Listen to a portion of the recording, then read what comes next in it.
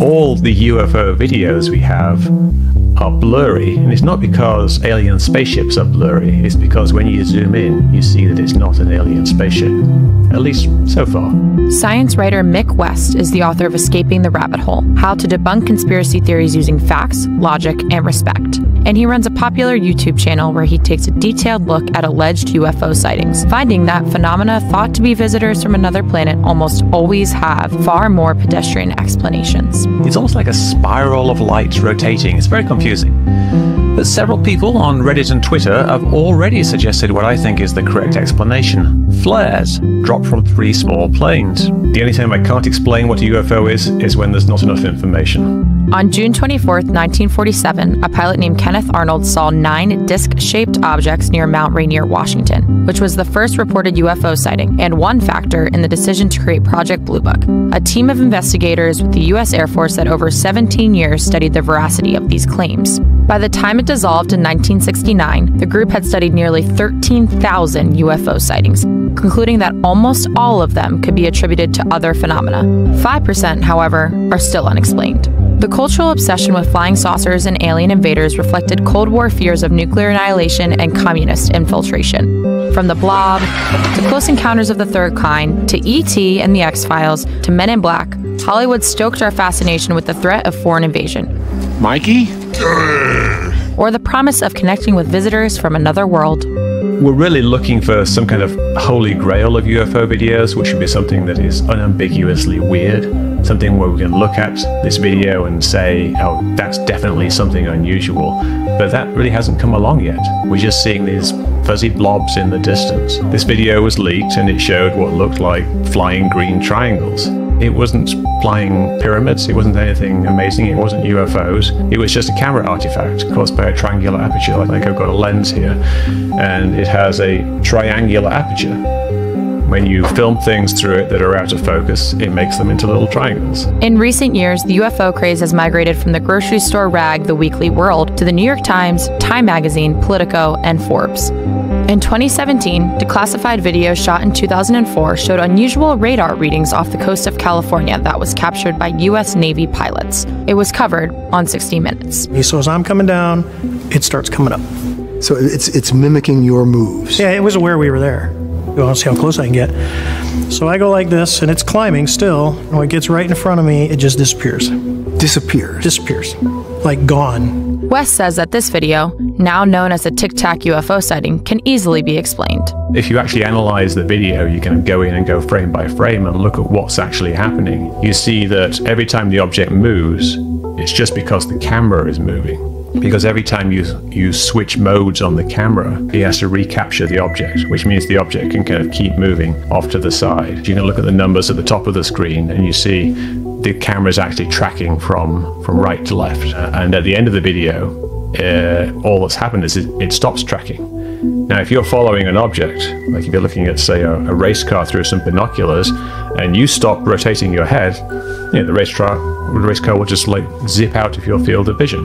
Mainstream buzz about UFOs reached a crescendo in 2017, with a New York Times article headlined Glowing Auras and Black Money The Pentagon's Mysterious UFO Program. It revealed that the Pentagon had secretly secured $22 million to investigate the subject.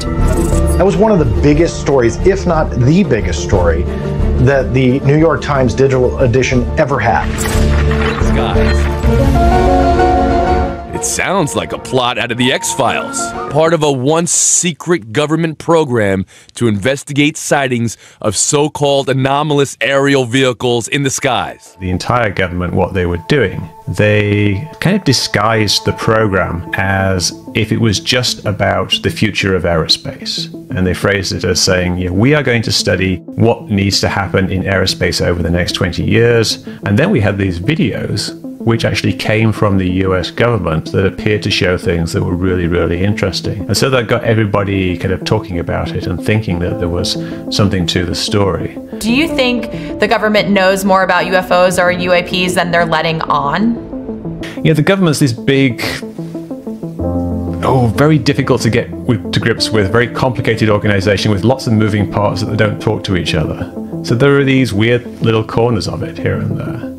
And it's not like the entire Pentagon has been studying crashed UFOs. There's a large body of secrets that the government has, and partly this is out of necessity. There are obvious uh, national security implications, but also a large part of it is just the default position of the government. There's an excessive amount of secrecy, which is, know, is a bureaucratic burden.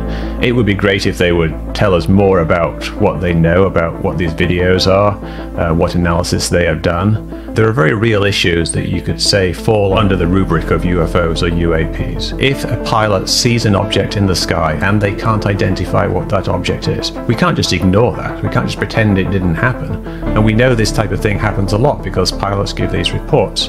So, in that sense, we need to figure out what's going on. The New York Times bombshell led to a frenzy of new interest. In 2020, the Pentagon established a task force to study UAPs, or unidentified aerial phenomena. And just a year later, with a push from Senator Marco Rubio, Congress demanded that the task force release a report on everything it knows about UFO sightings. That report ran just nine pages. What's happening in government now is they're trying to get past some kind of whistleblower protection. Uh, they're trying to make it so that people can come forward and tell their stories of having seen some kind of UFO without worrying about non disclosure agreements. UAP focused startups are popping up everywhere, with a focus on building better detection equipment and software. Seemingly, their goal is to contend for military contracts if the government continues allocating funding to study the issue. The big rumor that is getting everyone excited in the UFO community right now is the US government actually has recovered some kind of material or technology from crashed flying saucers. They think there's a crash retrieval program within the US government. At a congressional hearing, Deputy Director of Navy Intelligence Scott Bray said this wasn't true. Uh, have we come across any wreckage of any kind of um, object that has now been examined by you? The UAP task force doesn't have any wreckage that isn't uh, explainable, that, that isn't consistent with being of terrestrial origin. We might get somebody in the government who says that they were tasked at some time to investigate a mysterious piece of metal, or that somebody in the government thought that this particular piece of metal came from a, a crashed flying saucer. But that wouldn't be surprising to me. If there's something unusual in our airspace, it certainly warrants careful study. But for now, at least, whatever is out there is far more likely to be a flare of light, a balloon, or even a plane than visitors from a faraway planet. If there's evidence of new technology flying around in the skies, anti gravity, that's worth billions and billions of dollars. And we should spend billions of dollars investigating it, but we don't. And I think we, the reason we don't is that the evidence really isn't there. The government knows more about everything than it's willing to tell us. It's dubious that it knows anything about UFOs being aliens, though.